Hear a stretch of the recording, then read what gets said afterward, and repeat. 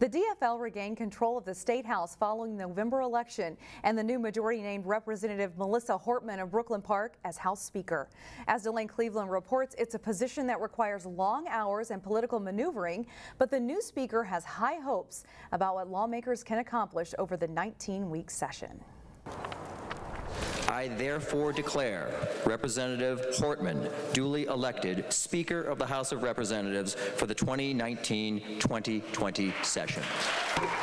With the sound of thunderous applause, Representative Melissa Hortman took the gavel on January 8th to begin her new role as House Speaker. It's been an eventful three weeks. In the three weeks since, the Brooklyn Park lawmaker says her new job has been filled with 17 hour workdays. I'm a little bit of a workaholic. It it fits well. I have plenty of time to dedicate to public service now. Reports of standing committees and divisions. That workload includes meeting with fellow lawmakers and various stakeholders, and trying to get her legislative priorities passed with the Republican controlled Senate in place. So I think it will get more and more difficult as the session goes on for both parties to find things that they can support and get behind. Thank you, Madam Chair. A couple of the DFL priorities this session include allowing more people to buy into the MinnesotaCare health coverage coverage program and to provide paid family medical leave, pushing for paid family and medical leave for all employees. So when you think about all the different things we're trying to accomplish